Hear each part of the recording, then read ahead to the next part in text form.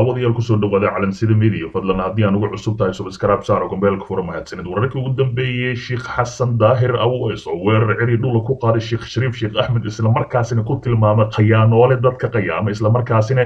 uusan dalka ka saarin al-shabaab iyo ciidamada etoobiya islamarkaasina uu dhawri jebiyey dadkii ku safkaay annaga ayaana ka dambaynay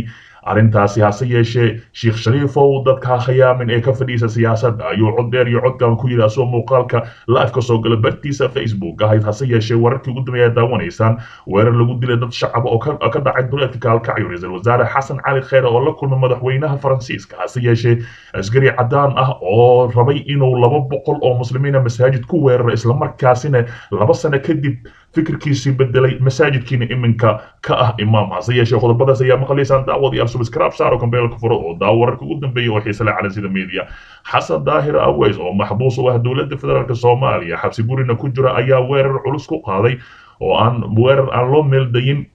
ku qaaday madaxweynayaashii hore ee soomaaliya sheekh shariif sheekh axmed. Horeyna ay iskala tirsanaayeen xisbigii ama kooxdii lagu magacaabi jiray maxaakiimtii islaamiga hase yeeshee xasan daahir aweys oo live soo galay bartiisa facebook xasan daahir aweys ayaa sheekh shariif ku eedeeyey inuusan isaga cadowga iyo mooryaanta ka saarin dalka muqdisho dalka soomaaliya gaar ahaan magaalada muqdisho balse uu isaga si fudud ku helay xilka uuna mid mid cidlaa ugu tagay ama meel cidlaa ugu tagay dadkii shaqadaasi la qabtay hase yeeshee taasi ay tahay khayaano aada u ballaaran wuxuu ku eedeeyey inuu sheekh shariif yahay nin dadka ku danaysta markii dantiisa uu gaarana meel cidlaa ugu taga hase yeeshe oo ah nin khayaanoola ah. Xasan daahir aweys ayaa sheekh shariif ugu baaqay inuu alle ka cabsado islamarkaana uu joojiyo dadka uu khayaamayo ama iminka uu khayaanada ku wado ummadda soomaaliyeed ayuu yidhi. Siyaad barre si fudud ayuu dalka ku helay si baasna waa uga tagay waxaana sidaasi oo kale la mid ahaa sheekh shariif oo meel sahlan ka helay hoggaanka dalka. Haddana meel cidlaa uga tagay weliba sheekh shariif wuxuu siyaad barre uga duwan yahay magaca alle ayuu xilka ku qaatay. Magaca alle markaa uu ku qaadatayna meel cidlaa uga tagay. Haddii ay tahay mabda meel cidlaa uga tagay dadkiina meel cidlaa uga tagay ayuu yidhi xasan daahir aweys oo si toosa muuqaalka ugu soo duubaya bartiisa facebooka uu ku leeyahay sheekh xasan daahir aweys ayaa sheekh shariif ku eedeeyey inuusan ka cabsanaynin in dadka in dadka nacaan wuxuuna sheegay inay jiraan dad badan oo sheekh shariif ku khatalmay islamarkaasina aan aaminsanayn mabaadi'da oo wado. Wuxuu ugu dambayntii sheegay inuu sheekh shariifka uu ka quustay markii uu codka siin waayey xasan sheekh maxamuud wakhtigii doorashada markii ugu dambaysay xasan sheekh ayuu siin waayey afartan cod oo uu haystay. Xilligii doorashada howsha waxay ahayd qabiil. Markii uu codka siin waayey ayaa ka quustay sheekh shariif. Ayuu yidhi xasan daahir aweys oo taasi oo macnaheedu la yahay xasan sheekh shariif iminka wuxuu saaxiib la yahay sheekh xasan xasan sheekh maxamuud madaxweynihii hore soomaaliya. Xilligii doorashadii farmaajo lala tartamayane afartan cod ayuu sii waayey xasan sheekh markaas ayaa ka quustay ayuu leeyahay dhanka kale haddii aan u weerarno ayaadii u weecanno weerar lagu dilay dad rayid ah oo ka dhacay duleedka magaalada kaalkacyo ee gobolka mudug.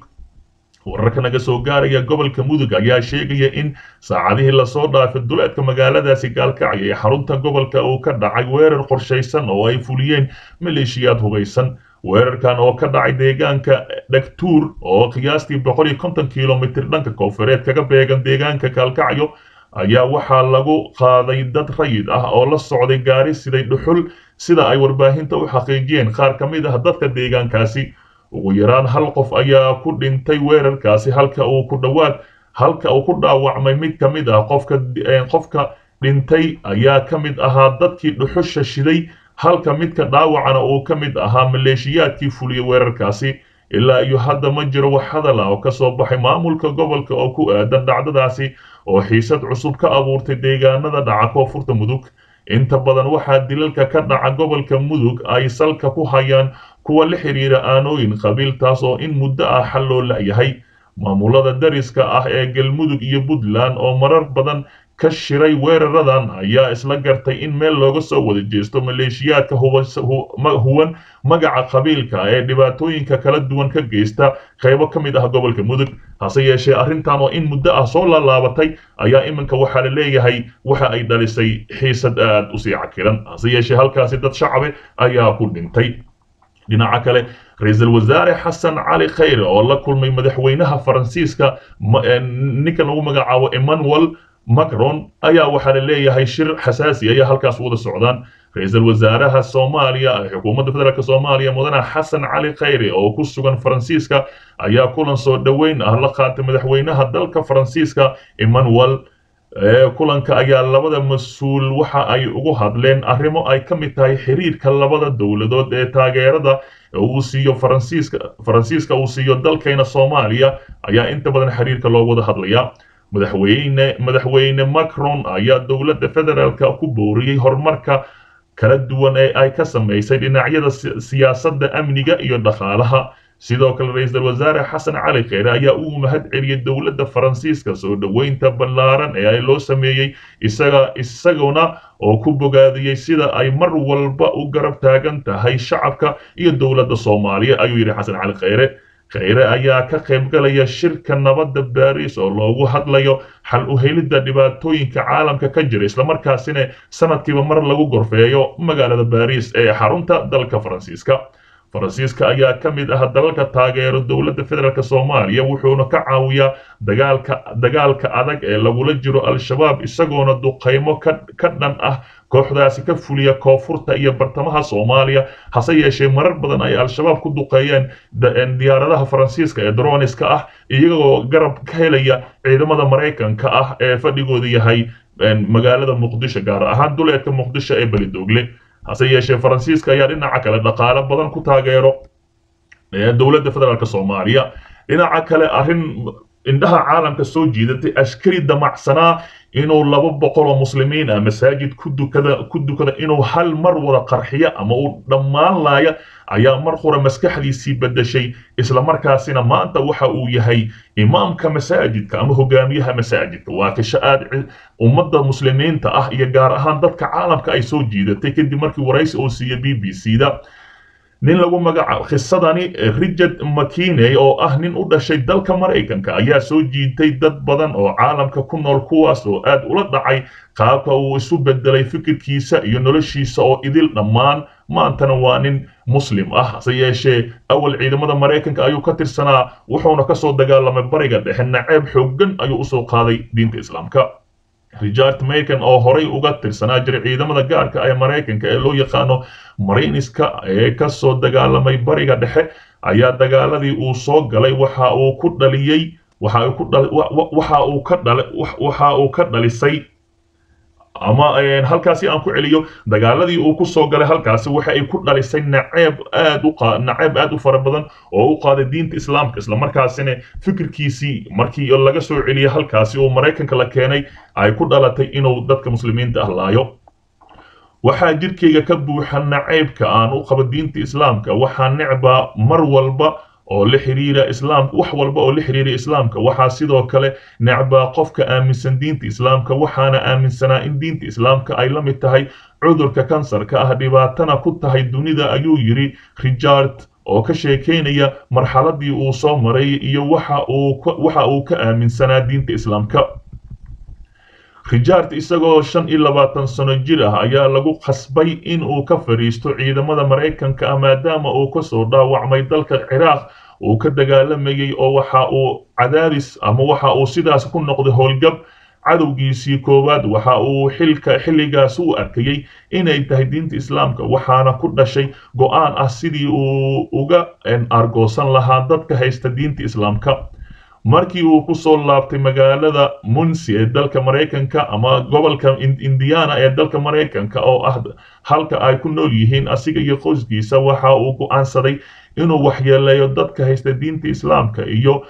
xarumaha ay ku cibaadaystaan maadaama xilligaasi ay ku weyneyd islaam naceyb waxaana uu qorsheeyey inuu qaraxyo masaajidka ay ku dukadaan dad badan oo ku nool magaaladaasi oo aad u qarxiyo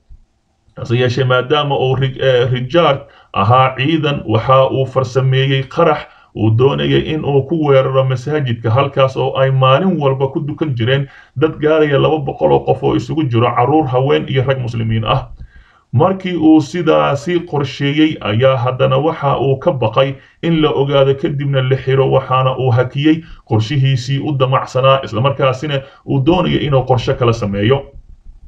richard ayaa b b c da u sheegay in intii uu ku guda jiray qorshahaasi ay ogaatay gabar yar uu dhalay taas oo iskuulka ay saaxiibo kula yihiin arday muslimiin ah ay wada dhigtaan. Gabadhiisii ayaa kula talisay inuu joojiyo weerarka uu doonayo inuu ku qaado muslimiinta waxaana hadalka gabadhaasi ay keentay inuu bedelo maskaxdiisii oo waxa uu go'aansaday inuu aado masaajidka kadibna uu la kulmo muslimiinta